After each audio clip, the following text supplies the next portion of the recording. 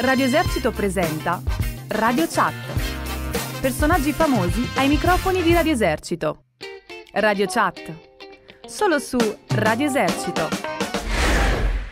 Bentornati su Radio Esercito per il nostro appuntamento di Radio Chat con Giulia e Marco Cubetti, capo redattore di Radio Esercito. Ai microfoni con noi abbiamo colui che ha iniziato a soli vent'anni come allievo del grande Indro Montanelli a Il Giornale. A metà degli anni 90 diventa vice direttore di Il Tempo e per oltre sette anni è poi direttore dell'ADN Kronos del mitico Pippo Marra. Da più di un decennio, dal 2009 per la precisione, è a Mediaset dove ha dapprima ricoperto la carica di vice direttore del TG5 per poi assumere il comando della corazzata News Mediaset al quale dal 2019 ha aggiunto la direzione del TG4, quella di studio aperto, del TGCom 24 e di Sport Mediaset. Oggi è con noi il direttore Andrea Pucci. Buongiorno direttore. Buongiorno a tutti, Benvenuto, un saluto, grazie, un saluto prima ancora di parlare lo dedico a tutti voi dell'esercito, ma delle forze armate in generale, sia in Italia che all'estero. Grazie, Grazie mille. Grazie molte. Eh, senta, direttore, eh, per agganciarmi alla, alla sua presentazione mi, eh, mi, viene da dire che lei ha sotto di sé un vero e proprio esercito di, di, di, di giornalisti. E, e, quindi una prima... brigata. Esatto, almeno una brigata. E la prima domanda che mi viene spontanea da farle è, è, quanto può essere difficile essere alla guida e coordinare quotidianamente il lavoro di così tanti giornalisti.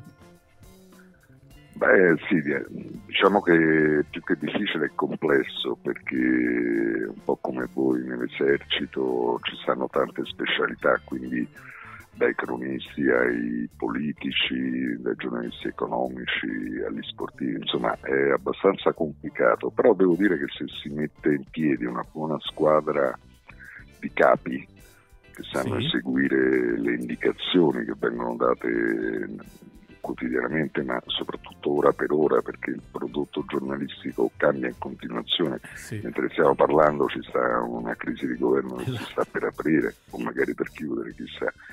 E quindi avere dei buoni capi che sanno recepire le indicazioni giuste e trasmetterle a tutti i livelli. Eh, ecco, questo è fondamentale di fronte a qualsiasi evento, perché poi il giornalismo è qualcosa che non è statico, è qualcosa che giorno per giorno cambia. Ogni giorno ha la sua storia, ogni giorno ha il suo evento da seguire. Certo. Proprio perché allora ha parlato di brigata, le vorrei chiedere una cosa più che altro, insomma, se ha un ricordo, se ha avuto rapporti con l'esercito italiano in passato. Ah, io sono stato, eh, quando stavo al giornale, tra le tante incombenze che mi avevano dato, una era quello di seguire proprio le forze armate. Quindi ho avuto rapporti strettissimi e continui per anni sia con l'esercito che con la marina e l'aeronautica. E, e li ho seguiti su tutti i fronti, perché poi Montanelli mi, mi fece diventare inviato giovanissimo e mi è capitato anche in teatri operativi di seguire le forze armate, l'esercito in particolare. Ma è possibile eh, che lei abbia fatto parte della Brigata Sassari nel suo passato come soldato? sì. Come no, come stante, attenzione. Non ah, soldato. ecco, come sì, giusto, eh, giustissimo, corretto. No? Eh, sì, sì, 152 battaglione di fanteria Sassari, nel 1981. Bene, bene, allora ha, ha, ha, avuto a che fare con noi anche diciamo nella sua vita privata oltre che quella professionale. Ora però vorrei fare un altro passo indietro, eh, direttore, vorrei portarla, anzi vorrei eh, chiedere cosa porta con lei di quella prima esperienza con il monumento del giornalismo italiano Indro Montanelli. Uh, porto con me e lo condivido con i colleghi dell'epoca, perché ormai sono passati tanti anni, lo spirito di corpo che animava la redazione del giornale, perché eravamo tutti un po' stretti accanto a questa bandiera del giornalismo che era Indro Montanelli e quindi quotidianamente ci battevamo anche perché era un giornale particolare, era un giornale controcorrente, quindi eravamo un po' accerchiati da dagli altri giornali che erano maggiori e insomma, allineati tutti su posizioni che, posizioni che noi contrastavamo. Certo. Quindi questo ci ha dato uno spirito di corpo a noi giornalisti dell'epoca del giornale Montanelli che altrove non si trovava. Forse un paragone lo si può fare con Repubblica di Eugenio Scalfari, certo. eh, su però fronti contrapposti, ecco noi eravamo proprio l'altro, l'altro fronte. Senta direttore, ehm, lei è passato dalla carta stampata alle agenzie e, e, e, quindi alla televisione e sono tre modi di fare giornalismo mm, molto diversi, ma ce n'è uno di questi tre che, che ha più nel cuore? Mm, ma devo dire il giornalismo, eh, io ho sempre fatto giornalista operativo, quindi sia come cronista di nera, di giudiziaria, come inviato speciale. Il giornalismo però quello che mi è rimasto perché è adrenalina pura ogni giorno e quindi forse è quello delle agenzie di stampa perché lavorare in agenzia di stampa vuol dire essere nella prima linea del giornalismo. Non a caso sono le agenzie che forniscono eh sì. le notizie a tutti gli altri mass media.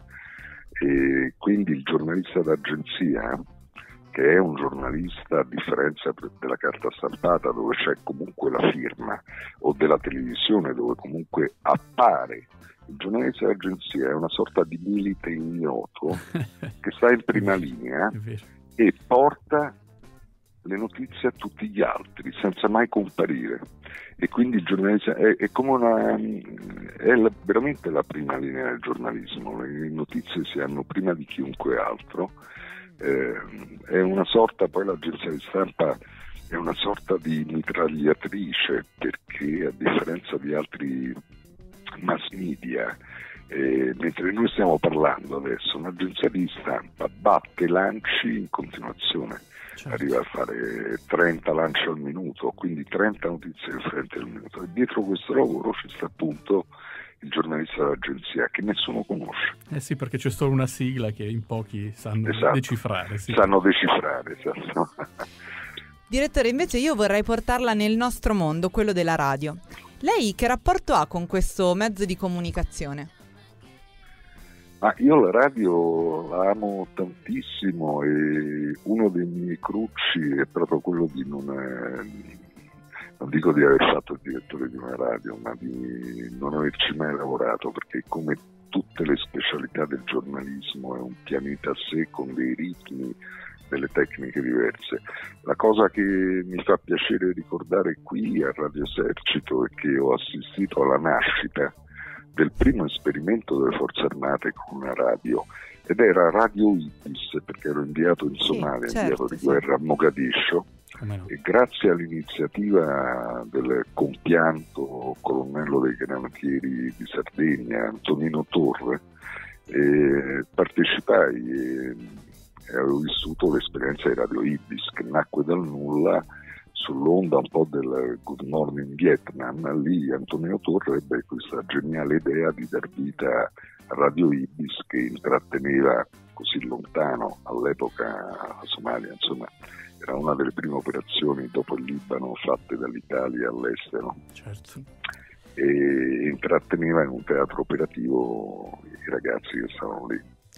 Ora invece le vorrei eh, chiedere qualcosa sulle, sull'attualità di adesso. Dopo i media tradizionali arriviamo poi ai nuovi media. Fare informazione ai tempi dei social di certo è una sfida del tutto diversa rispetto a quando la comunicazione dei giornalisti era esclusivamente monodirezionale.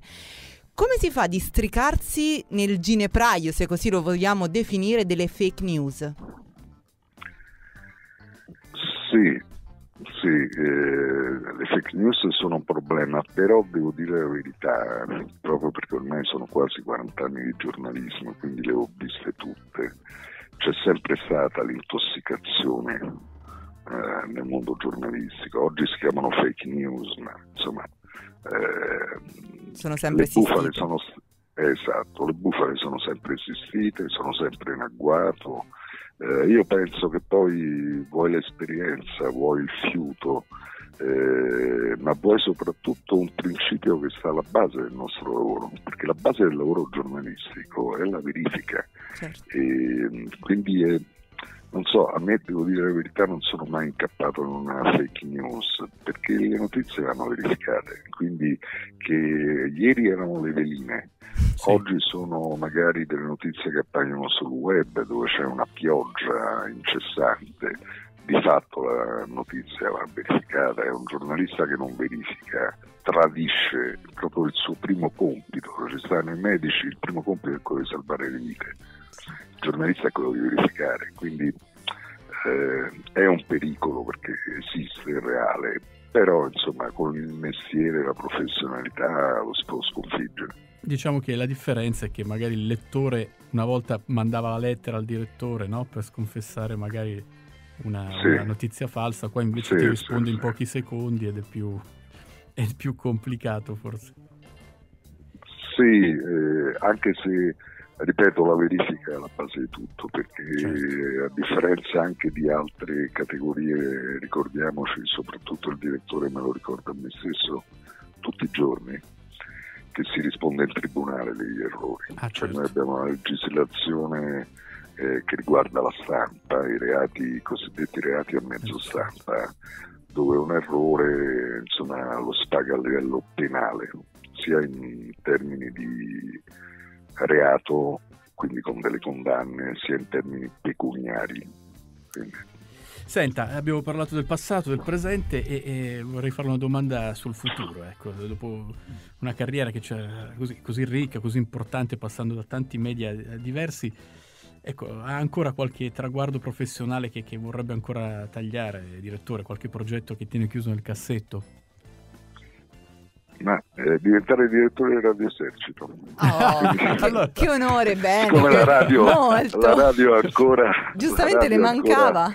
L'aspettiamo, manca, allora l'aspettiamo. Eh, eh, aspettatevi, chissà, Beh, non perché... mai dire mai comunque. Esatto, mai esatto. Mai. Ci mancherebbe anche perché è, è bello eh, il fatto di eh, sentire la sua Comunque curiosità anche, sotto questo punto di vista. Sono anche direttore, ecco, eh. sono anche direttore dei giornalisti radio del gruppo Mediaset, Ma, quindi eh, Virgin Radio, di Radio Subbasio, Radio Monte Carlo, ah, R150. Certo, certo. E allora l'aggiungiamo alla lista e ben Ce bene. siamo persa questa. Mi candido, eh? Bene, bene, allora noi l'aspettiamo. E allora senta, siamo arrivati ai saluti. Allora a questo punto noi di solito ai nostri ospiti chiediamo di lasciare un loro ricordo o un messaggio attraverso una canzone. Eh, così da poterla, da poterla ascoltare e, e, condividere con i nostri radioascoltatori. Allora, una canzone. Eh, una canzone che amo è More, che è la, interpretata da Frank Sinatra, ma in realtà è, è tratta dalla colonna sonora di Mondo Cane, che era un film che uscì nel, negli anni 60, io uh-huh. sono del 61, e, colonna sonora di Rizzo Ortolani, di cui poi Frank Sinatra ha fatto un grande successo. Ecco, questa è una canzone che mi ricorda un po' gli anni 60 da ragazzino, noi dove c'era tanta voglia di fare. Noi la ringraziamo quindi per aver condiviso con noi questo ulteriore suo ricordo e la ringraziamo più che altro per le, parole, per, tempo, sì. per le parole che ha speso per uh, Radio Esercito, ma soprattutto per i saluti iniziali che ha fatto rivolta a tutta la Forza Armata, a tutti Grazie coloro ancora. che appunto sono impegnati sul campo. La ringraziamo ancora e um, Marco salutiamo, salutiamo il, salutiamo il direttore, direttore. Lo aspettiamo in redazione a questo punto. Ah, spero di venirci al più presto. Grazie. Eh, ragazzi, grazie a voi e insisto, rinnovo i saluti a tutti i vostri colleghi in divisa in Italia e all'estero. Grazie. La ringraziamo. Buon lavoro, direttore. Grazie. Alla prossima. Arrivederci. Radio Chat. Solo su Radio Esercito.